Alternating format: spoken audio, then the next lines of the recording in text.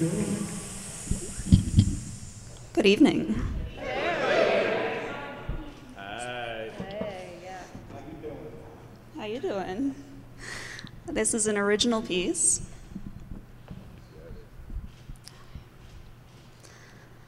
Thunder thighs.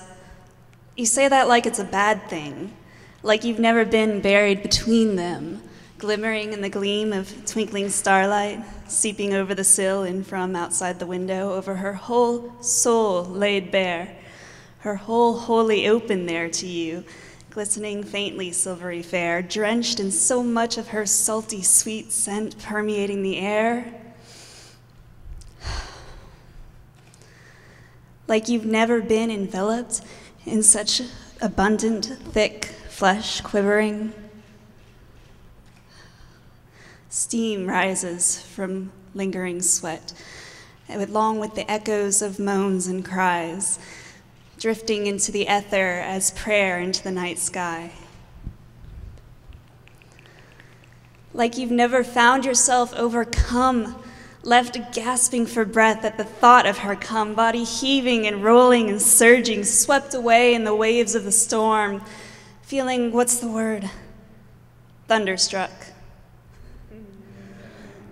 Like you've never worshipped these divine thighs, born of the goddess of love, imbued with the power of Thor, God touched by thunder and by lightning.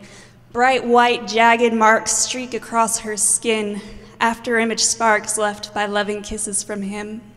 Still, she, great mother Freya, lover, is stronger even than he, to take so much into her and still stand tall and free. A downright legendary inheritance are these. Pillars old as earth, built to support bodies more than hers, babies, children, and backbreaking work, cities, kingdoms, home, and hearth, taking the slings and spurs of those who would harness her, turn strength into slur and sanctify the oppression of her. Have you not heard of hell's fury within her?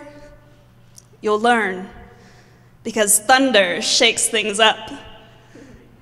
No tremor nor waver here passed down through the ages, bequeathed at each birth.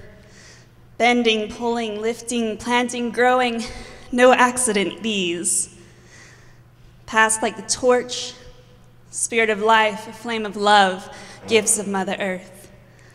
Thunder thighs, go boom! Giggity. you should be so lucky.